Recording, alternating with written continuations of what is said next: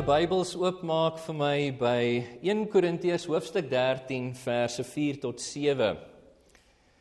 1 Korintiërs hoofstuk 13 verse 4 tot 7. Ek wil vanmôre met julle gesels oor goddelike liefde in aksie. Die ongelowige wêreld om ons het 'n verdraaide persepsie van liefde. Die wêreld se persepsie van liefde kan gedefinieer word meer as 'n gevoel of 'n emosie van infatuasie met 'n ander persoon, anders as hoe God se woord dit vir ons definieer, as 'n selflose, selfopofferende daad van die wil. En hierdie verdraaide persepsie van die wêreld word gedurig gepropageer oor Hollywood, deur uh, verskeie vorms van bemarking, oor verskeie media kanale ensovoorts. Vandag is Valentynsdag. En ons was in die laaste week of weke baie meer gekonfronteer met hierdie verdraaide persepsie van die wêreld rondom liefde. En die gevaar vir jou en my as Christene is dat wanneer ons nie weet wat God se woord sê oor ware Bybelse liefde nie. As ons onkundig is daaromtrent dan kan ons opgesweep raak en beïnvloed raak deur die wêreld se idee van liefde. En is daarom dat ek vanmôre met julle wil behandel God se beskrywing van hoe liefde in die praktyk behoort te lyk. Verbeel jouself 'n kerk waar daar faksies is, partyskap, groepe twis oor lering, waar daar bekleierery is oor leraars, wie gevolg moet word, wie die beste is, waar daar 'n stryery is oor rolle in die kerk en gesagstrukture, waar daar onmin is selfs oor immoraliteit binne in die geleedere van die kerk, waar daar hofsaake is tussen lidmate, wederstrewigheid in huwelike en ook selfs oor God se instelling van die huwelik waar daar minagting is van mekaar se swakhede en gewetens waar lidmate mekaar nie in ag neem nie selfs wanneer dit kom by die nagmaalviering waar daar 'n bekleierery is oor wie die belangrikste is in die gemeente. En net 'n algemene strydlustigheid oor die fundamentele aspekte van die Christelike geloof. Ons sal sê so 'n kerk word nie gekenmerk deur liefde nie maar deur liefdeloosheid. En dat so kerk oneer bring aan die Here nie waar nie? Nou as jy hierdie boek van Korintiërs lees die eerste brief 1 Korintiërs dan sal jy sien dat hierdie liefdeloosheid is presies wat daardie kerk gekenmerk het. Al hierdie dinge wat ek vir julle nou genoem het. En hulle het die Here onteer. En dis daarom dat Paulus in hoofstuk 13 van 1 Korintiërs hierdie hoofstuk insluit oor die liefde om die gemeente in Korinte te bestraf vir hulle liefdeloosheid en om hulle te vermaan tot 'n God verheerlikende liefde vir mekaar. Kyk geliefdes, God se natuur is liefde. 1 Johannes 4 vers 8 sê vir ons dat God is liefde. Dis in sy aard om selfloos selfopofferend lief te hê en vir God verwag dat ons wie deur wedergeboorte die goddelike natuur deelagtig geword het dat ons toenemend sy liefde sal reflekteer in ons handelinge met mekaar en ook met die wêreld daar buite. Kyk, dis duidelik deur die woord. Jesus het gesê in Johannes 13 vers 34: "’n Nuwe gebod gee ek vir julle, dat julle mekaar moet lief hê. Soos ek julle liefgehad het, so moet julle mekaar ook lief hê." Die apostel Petrus skryf in 1 Petrus 1 vers 22: As julle dan julle harte in gehoorsaamheid aan die waarheid gereinig het tot ongefeinste, dit is nie skynheilige broederliefde, dan moet julle mekaar vurig lief hê vanuit 'n rein hart. Maar die vraag nou is hoe lyk so 'n liefde wat God verheerlik? Dis presies hierdie vraag wat die Here vir ons in ons teks vanmôre beantwoord. God bied aan jou en my vanoggend 14 kenmerke van ware goddelike agape liefde. Hoe dit lyk in die praktyk sodat ons kan groei in ons verstaan van wat goddelike liefde is en in ons uitleef daarvan in hierdie wêreld. Jy gaan heel moontlik nie na vanoggend al 14 kenmerke onthou nie. Jy ken die storie van die oupa wat vir sy kleinseun wou leer die waarde van voortdurende Bybelinname. Kom ek vertel dit vir julle. Oupa sit op die stoep langs sy koolstofie en hy wil vir sy kleinseun hierdie les leer. Die waarde van voortdurende Bybelinname. En hy vat die mandjie waarin al die kool altyd gepak was. Die mandjie is vuil en hy gee dit vir die kleinseun en hy sê vir die kleinseun, "Weet jy seun, sien jy daai stroompie daar onder daar by die pad? Hardloop soontoe, gemaak vir oupa die mandjie vol water en dan kom jy terug en bring jy dit vir my." Seentjie is baie entoesiasties. Hy wil sy oupa tevrede stel. Hy hardloop met die mandjie af rivier toe, maak dit vol water en hardloop so vinnig as wat hy kan met die mandjie terug tot by oupa. Toe hy daar kom, toets al die water uit. 'n Mandjie kan mos nou nie water hou nie. Oupa kyk so in die mandjie. Hy sê: "Hoorie, maar daar's niks water in nie. Gaan probeer weer. Hardloop af tot by die stroompie, skep vir oupa water en hardloop jy terug." Seentjie hardloop weer af, skep water. Hierdie keer hardloop hy 'n bietjie vinniger. Hy hoop om van die water in die mandjie te hou tot by oupa. Toe daar kom die water weer uit. Oupa kyk so af in die mandjie. Hy sê: "Weet jy seun, probeer nog een keer." Seentjie is bietjie verontwaardig.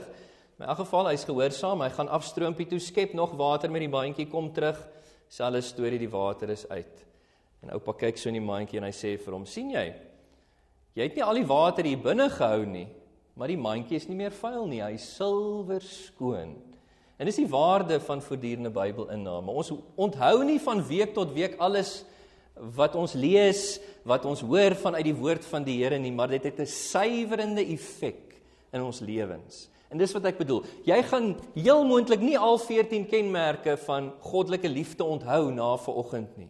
Maar my gebed is dat die Here met ons sal werk en dat hy die vinger van die Gees in jou hart sal druk op daai area, daai een of twee of drie plekke waar jy tekort skiet in jou uitleef en verstaan van goddelike liefde en dat die Here deur sy woord en gees 'n daadwerklike Godverheerlikende verandering in ons sal bewerk deur die woordprediking vanmôre.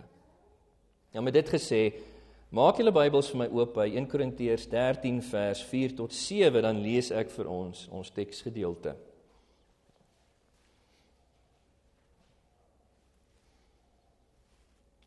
Die woord van die Here sê die liefde is lankmoedig, geduldig en vriendelik. Die liefde is nie jaloers of afgunstig nie. Die liefde praat nie groot van homself nie en is nie opgeblaase nie. Die liefde handel nie onwelvoeglik nie. Dit soek nie sy eie belange nie. Dit word nie verbitterd nie. Dit, dit hou met ander woorde nie reken met die kwaad uh, um, dit reken die kwaad nie toe nie, jammer. Dit is nie bly oor die ongeregtigheid nie, maar is bly saam met die waarheid. Dit bedek alles, glo alles, hoop alles, verdra alles. Net tot sover uit die woord van die Here. Kom ons sluit ons oor dan bid ons vir die Here se hulp. Vader, soos wat ons hierdie teks vanoggend wil uitlê, wil verstaan, uh, Here, wil ek vra dat U deur die Gees vir ons sal help. Dat U vir ons die vermoë sal skenk Here om te hoor wat U vir ons wil sê deur U geïnspireerde gesaghebende woord vanmôre. En mag dit wees deur U werking in ons harte vanmôre deur die woordprediking dat ons vir tyd en ewigheid verander met betrekking tot ons verstaan en ons uitleef van goddelike, godverheerlikende liefde. Doen dit vir ons vanmôre en mag hierdie boodskap vrug voortbring in ons lewens. 30voudig, 60voudig, 100voudig tot eer van U naam. Dit bid ons in daardie naam, Jesus Christus. Amen. Goed geliefdes, soos die teks sê, liefde soos God dit definieer, is eerstens geduldig. Nommer 1, liefde is geduldig.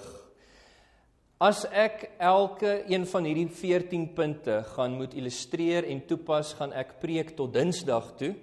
Ek wil dit verhoed. Ehm um, net ter wille van julle wat dalk iets in die oondheid by die huis. So, ek gaan net 'n basiese beskrywing gee sodat ons elkeen van hierdie punte goed verstaan en dan sal ek na die tyd ietsie sê met betrekking tot toepassing in ons lewens.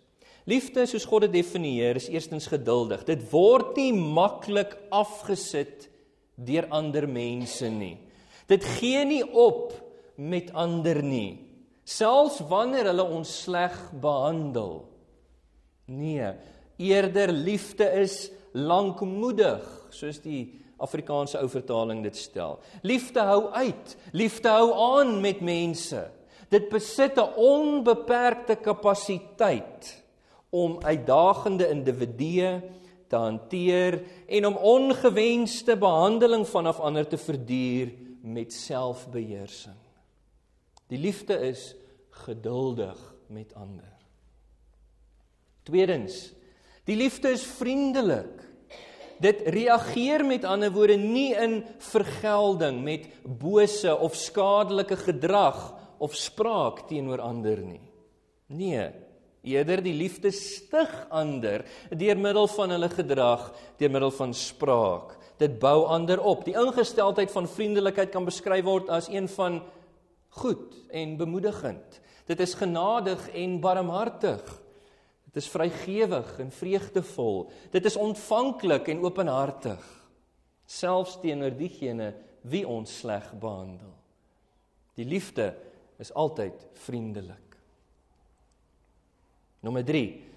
Die liefde is nie afgunstig nie. Met ander woorde, die liefde begeer nie die besittings en die suksesse van ander nie. Die liefde is nie ontevrede wanneer God ander seën op 'n materiële vlak of selfs op 'n geestelike vlak nie. Nee. Eerder die liefde is bly saam met ander. Dit gun verander God se seën in hulle lewens. Die liefde is nie jaloers of afgunstig op ander nie. Nommer 4. Die liefde is nie grootpraterig nie. Dit wil sê die liefde praat nie die hele tyd oor myself nie. Dit prys nie die hele tyd myself oortollig deur spoggery nie. Eerder die liefde prys ander op 'n selflose wyse. Dit het die vermoë om die goeie in ander te sien. Dit wys uit terwyl hulle van hulle bemoediging die goeie in hulle, die Godvreesende karakter in anders. Die liefde is nie grootpraterig oor diself nie. En wat daarmee saamgaan is nommer 5. Die liefde is nie hoogmoedig of verwaand nie. Dit wil sê die liefde dink nie hy is beter as 'n ander nie. Die liefde verhef nie homself ten koste van ander op 'n verwaande of 'n opgeblaase wyse nie. Dit verwag nie dat die ander my iets skuld en dat ander my moet bedien nie. Eerder die liefde is nederig. Dit het 'n nederige, 'n beskeie, 'n realistiese opinie oor self. En dit is altyd gereed om ander te bedien op praktiese wyse. Die liefde is nie hoogmoedig nie. Nommer 6. Die liefde is ook nie ongeskik nie. Dis 'n belangrike een. Met ander woorde, die liefde tree nie op teenoor ander op oneerbare en disrespekvolle, ongenaakbare wyse nie. Deur te skree en te skel, deur te vloek, deur handgemeen te raak ensovoorts nie. Dit tree nie op op wyse wat in teenstelling is met die aanvaarbare norm van ordentlikheid nie. Nee.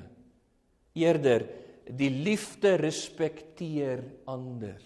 Die liefde behandel ander altyd met ordentlikheid ter wille van die eer van die Here. Die liefde is nie ongeskik nie. Nommer 7. Die liefde is ook nie selfsugtig nie. Dit dring nie daarop aan om altyd my eie sin te kry nie. Dit het nie daai ingesteldheid van dis my weg of die hoë weg nie. Die liefde doen nie dit nie. Eerder die liefde plaas 'n ander se belange bo my eie. En dit soek hulle plesier en hulle voordeel eerder as altyd my eie. Die liefde is nie selfsugtig nie. Dit kyk uit na ander. Is julle nog met my? Ek dit gaan vir julle voel soos 'n crash course in in liefde vanmôre. Maar mag die Here hierdie dinge vasbrand in ons harte eh, sodat al onthou ons dit nie dalk op die punte van ons vingers hierna nie, dat dit ons holistiese perspektief op goddelike liefde vorm en dat die Heilige Gees ook dan ons gewetens kan lei deur die loop van elke dag. Nommer 8, die liefde is ook nie lig geraak nie. Nog 'n belangrike een. Met ander woorde, die liefde neem nie maklik aanstoot nie. Dit word nie gou aangehits tot woede nie. Dit word nie ontstel oor kleinlikhede nie. Dis nie geneig tot skielike uitbarstings nie. Nee. Met ander woorde ons kan sê om die mooi Afrikaanse spreekwoorde te gebruik, die liefde is nie kort van draad nie, is nie vinnig op sy perdjie nie. Eerder die liefde openbaar 'n konsekwente en 'n gematigde humeur altyd. Die liefde is nie lig geraak nie. Nommer 9. Hierso is ook almal van hulle so belangrik. Die liefde hou nie boek van die kwaad nie. Dit wil sê die liefde het nie 'n stoorkamer iewers in die geheue waar 'n rekord gehou word van al die onreg wat my aangedoen word nie. Nee, eerder die liefde is vinnig om te vergewe en te beloof ek sal nie aanhou top oor wat jy aan my gedoen het nie. Dit beloof ek sal nie aanhou om jou te herinner aan wat jy aan my gedoen het nie. Dit beloof ek sal nie aanhou om te skinder daaroor by ander nie. Ek het dit vergewe. En die liefde hanteer dan ook altyd ander soos Jesus Christus sou, selfs diegene wie dit onreg aangedoen het. Die liefde hou nie boek van die kwaad nie. Nommer 10. Die liefde is nie bly saam met die onreg nie, maar is bly saam met die waarheid. Wat bedoel Paulus? Wel, hy bedoel dit. Die liefde is nie bly as ongeregtigheid seefuur in ons huise, in ons kerke, in die skole en universiteite en ons gemeenskappe ensovoorts nie. As die oortreding van God se morele wet aan die orde van die dag is nie, dan is liefde nie bly nie. Eerder liefde is bly wanneer die waarheid van die evangelie seefuur. Wanneer mense in ons huise, in ons kerke, in ons skole en universiteite en ons gemeenskappe tot bekering kom en hulle self onderwerp in gehoorsaamheid aan die morele wil van God se woord, dan is die liefde bly. Nie saam met die onreg nie, maar saam met die waarheid. Nommer 11. En hierdie laaste 4 is spesifiek van toepassing in ons verhoudings met mekaar as gelowiges. Die liefde bedek alles. Met ander woorde, dit ontbloot nie 'n ander persoon se tekortkomings en se sondes in die publiek nie. Dit bring nie skaamte op daai manier oor 'n ander persoon nie. Nee, eerder die liefde bedek ander se tekortkomings en se sondes vanuit die publieke oog. Maar dit beteken nie dat liefde tekortkomings en sondes onder die mat invee nie, hoe genaamd nie.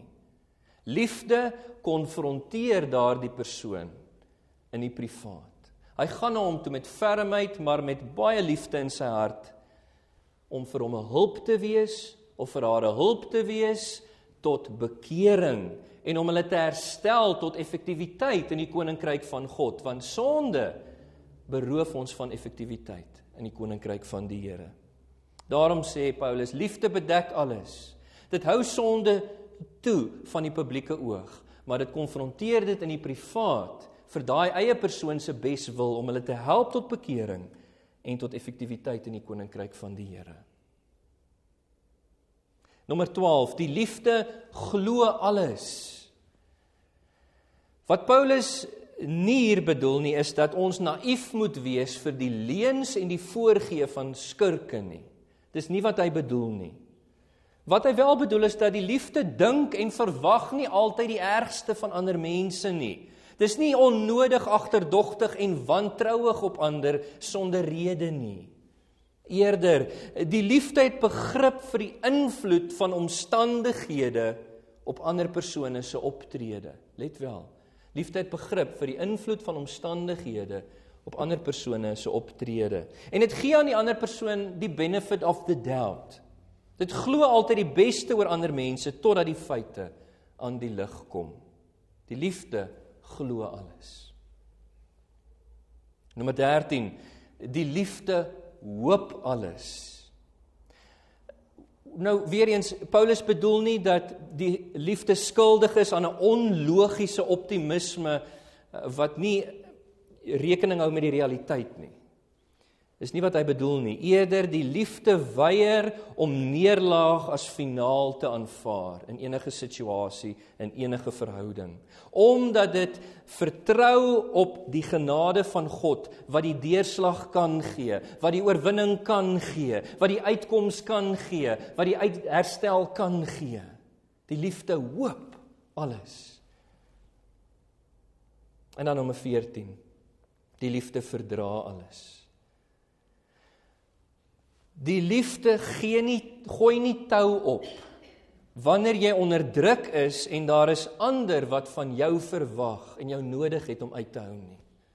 Die liefde gooi nie tou op nie. Eerder die liefde staan vas met die hulp van die Heilige Gees onder druk ter wille van die ander wie jou nodig het om uit te hou. Die liefde verdra alles. Kom ek som vir ons op wat ek gesê het nou. Die liefde is geduldig, Dis vriendelik en nie afgunstig nie. Die liefde is nie grootpraterig en hoogmoedig nie.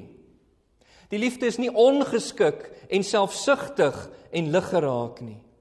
Die liefde hou nie boek van verlede kwaad nie. Die liefde is nie bly saam met onreg nie, maar bly saam met die waarheid wanneer die waarheid van die evangelie seëvier. Die liefde bedek alles, glo alles, hoop alles, verdra alles. Dit geliefdes is 'n beskrywing van goddelike agape liefde in aksie. Ongelowiges besit nie die geestelike vermoë om so lief te hê nie. Ons moet dit verstaan. Dit is slegs deur bekering en geloof in die evangelie van Jesus Christus dat God die hart transformeer, die kliphart uithaal en deur wedergeboorte vir ons 'n nuwe hart gee hy ons deelagtig maak van die goddelike natuur en dat ons deur die inwoning van die Heilige Gees in staat gestel word met die geestelike vermoë om toenemend so te kan lief hê. Hierdie liefde word vir ons beskryf in Galasiërs 5 vers 22 as die deel van die vrug van die Gees, né? En uh, dit word eerste genoem in daai lys van die vrugte van die Gees En ons lei daaruit af dat die liefde is die vernaamste produk of vrug wat die Heilige Gees in ons bewerk. Weens ons sondige natuur kan ons ook nie so lief hê nie, selfs na wedergeboorte, nie volmaak nie. Ons het die Here nodig om deur sy Gees ons te groei om toenemend so lief te hê soos wat die teks vir ons beskryf. En daarom moet ons steun op die Heilige Gees se instaatstelling in ons strewe om mekaar en om die wêreld lief te hê op hierdie manier wat God ons ook liefhet. By wyse van toepassing wil ek vir julle die volgende sê en luister nou mooi. Lees en bestudeer hierdie teksgedeelte oor en oor in die week en weke wat kom want dit is noodsaaklik dat ons gewetens ingelig word met betrekking tot hoe goddelike liefde in die praktyk lyk, veral in 'n wêreld waar daar soveel onkunde bestaan oor hierdie onderwerp. Lees en bestudeer, maar nie net dit nie, bid ook voortdurend. Erken voor God jou onvermoë om uit jouself uit so lief te hê en vra vir die instaatstelling van die Heilige Gees vir God om jou te help om jou op hierdie manier lief te hê om sy liefde in en deur jou uit te werk deur die Heilige Gees. Maar moenie net bid nie, vertrou ook. Dit wil sê wandel elke oomblik van die dag in die Heilige Gees. Wees sensitief vir sy konstante innerlike leiding want dit is hy wat jou in die loop van jou dag gaan bekragtig om op hierdie manier lief te hê. Moet ook nie net vertrou nie, maar bely Wanneer die Heilige Gees jou oortuig van liefdeloosheid deur die loop van die dag in jou gedrag, in jou spraak, dat jy nie handel in lyn met God se definisie van liefde nie. Soek God se vergifnis vinnig op en restituisie, restaurasie met God en die mense wie jy geafronteer het in jou liefdeloosheid. Gaan sê vir hulle jammer. Dit is so 'n mooi getuienis van 'n Christen. Die feit dat ons nie volmaak is nie, maar dat ons jammer kan sê. Dit verheerlik die Here. En moenie net bely nie, maar dank ook. Wanneer die Heilige Gees vir jou begin bewus maak dat daar wel groei is met betrekking tot God se definisie van liefde. Dat jy toenemend hierdie patrone sien vorm in jou lewe. Erken God se genade want dit is net deur sy genade wat hy ons groei om so lief te kan hê en verbaliseer jou dankbaarheid aan hom in gebed. Maar moet ook nie net dank nie, wees aanspreeklik en hierdie is 'n belangrike punt. Wees aanspreeklik. Onthou die Heilige Gees gebruik die konteks van ons plaaslike kerkfamilie en ook die konteks van jou huisgesin om ons te groei in ons vermoë om so te kan lief hê. Daarom bid voortdurend vir jou medegelowiges dat die Here ook vir hulle sal groei om op hierdie manier lief te hê en hou hulle dan aanspreeklik wanneer hulle liefdeloos optree in hulle gedrag en hulle spraak. Konfronteer hulle met fermheid maar met liefde om hulle te help tot bekering en tot herstel uh, tot hulle effektiwiteit in die koninkryk van die Here. Hou hulle aanspreeklik en wees dan ook gewillig om aanspreeklik gehou te word deur ander. As hulle jou konfronteer, sien dit as vanaf die Here. Ondersoek jou hart en lewe en indien nodig kom tot bekering. Wees aanspreeklik. Dis hoe die Here die Here deur sy gees ons gaan help om te groei in die uitvoer, uitleef van ware goddelike liefde. En dan laastens wil ek sê, moenie net aanspreeklik wees nie, maar spoor mekaar aan tot hierdie tipe van liefde. Wees op die uitkyk hoe jy ander, spesifiek medegelowiges in jou plaaslike kerkfamilie kan aanspoor om so lief te hê, want weet julle geliefdes, as ons saam groei in ons vermoë om soos Jesus te kan lief hê, dan reflekteer ons hom in 'n liefdelose wêreld tot eer van God en sal die wêreld wanneer hulle na ons kyk weet dat ons die disippels van die Here Jesus Christus is soos hy gesê het in Johannes 13 vers 35 omdat ons mekaar met goddelike liefde liefhet. Geliefdes, ek was baie uitgedaag in my voorbereiding van hierdie boodskap hierdie week. En ek glo dat julle ook elkeen vanoggend uitgedaag is en daarom wil ek hierdie boodskap afsluit met 'n tydjie van stil gebed.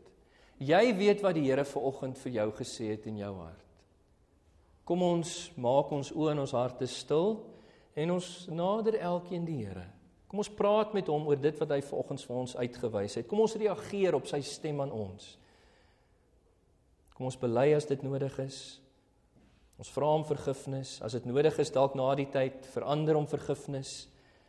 En kom ons vra die Here om ons te help om toenemend te groei in ons verstaan van en ons vermoë om te kan lief hê met agape liefde.